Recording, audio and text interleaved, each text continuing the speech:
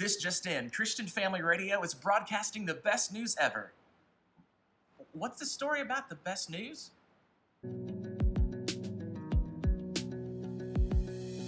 Some say don't give up and hope that your good is good enough.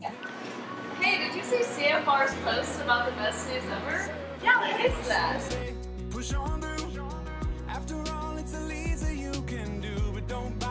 What they're selling. It couldn't be further from the truth. What if I were the one to tell you that the fight's already been won? Did you see that post from CFR yesterday? Yeah, what was that all about? I don't know. Tell you that the work's already been done. So, what is the best news ever? It has to be about Jesus, and we can't help but be thankful.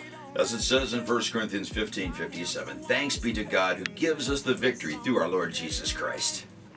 Because you give, the best news ever is shared. Every hour, every day, through stories and songs of hope and encouragement. Thank you for giving during Listener Support Month. We celebrate you.